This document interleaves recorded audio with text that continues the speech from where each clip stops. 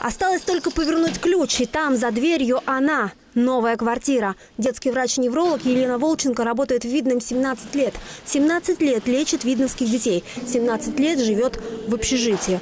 И вот, кажется, последняя веха на своем заключительном этапе. Немаловажно для э, женщины гардеробная комната.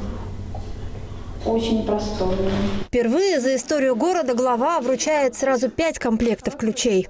Я не скрою, что в результате реализации инвестиционных контрактов на территории э, нашего района мы получили от ряда застройщиков э, в конце 2014 года, уже в начале 2015 года определенное количество квартир. Нашей основной задачей муниципальной власти, государственной власти Московской области является обеспечение жилыми помещениями э, специалистов социальной сферы.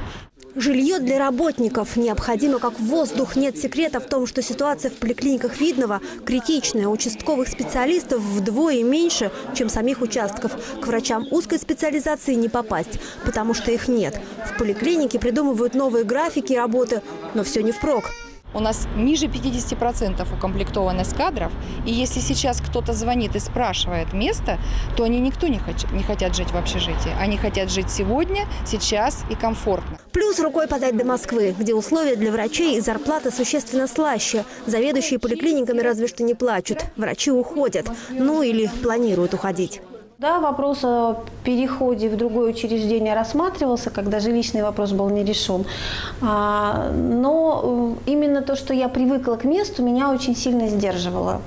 Вот сдерживающий фактор в свеженькой новостройке выдают врачу-неврологу Сергею Шарову, неврологу Елене Волченко, семье Кузьминых – это сразу два врача детской поликлиники, и врачу-травматологу Сергею Николаеву. Радость радостью, но все точки над «и» счастливые обладатели стараются расставить на месте.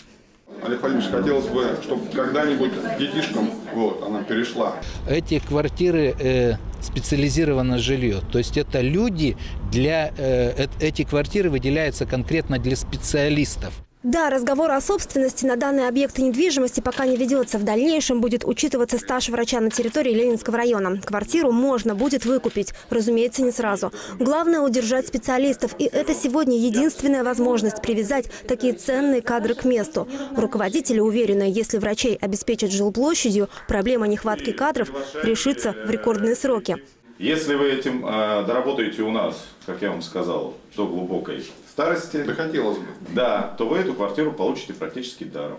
У нас идет положительный эффект. Я думаю, что вот, ну, через месяц мы, думаю, закроем эту тему. И у нас, надеюсь, что будет все прекрасно и хорошо.